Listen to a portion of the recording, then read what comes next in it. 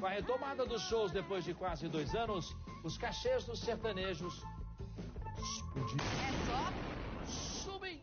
Viram É, é isso mesmo. Olha, se já estava caro antes, imagina agora, hein? Tá ainda mais. Vou botar aqui na tela para vocês. Olha como ficou bonita essa arte aqui dos cachês dos artistas sertanejos. Quem tá pedindo mais? Deve Vamos revelar. ele, né?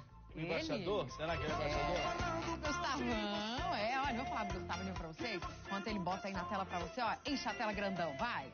Gustavo Lima tá com a agenda lotada em 2022. Ele vendeu um pacote com 200 shows por quase 100 milhões de reais. Ele também cobrou 1 milhão e 200 mil reais para cantar em um rodeio no interior de São Paulo para se apresentar em uma única noite. Os produtores dizem que vale a pena contratar, porque ele entrega, cumpre o que promete e sempre lota o show. Sou rica! Segundo? Foi na tela aqui. Peraí, Sabrina, calma. Então ele fica entre 700 Isso. mil e 1 milhão e 200. Por aí. Gustavão. Gustavão. Marília Mendonça fica.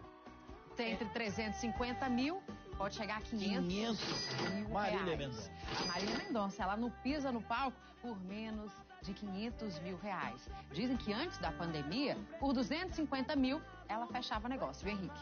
Quem mais aparece aqui, senhoras e senhores? Olha aí. Maiara e Maraísa, 300 mil. 300 leva o pacote do show. Já reajustaram lá o cachê. A Mária Maraísa, é, estão com os preços também só subindo. Olha aí, elas cobram 300 mil reais por uma apresentação. O que você acha? E aqui aparece quem? Olha aí. Bruno, Bruno e e Marrone. Marrone, ainda segurando a onda, hein? Sim, Bruno é e claro. Marrone, 270 mil reais. Isso, Bruno e Marrone mesmo, é, com as polêmicas e até com as discussões nas lives durante a pandemia, eles viram sim o público crescer. Com isso, eles estão pedindo de volta até datas já fechadas anteriormente para refazerem os contratos sob novas condições financeiras.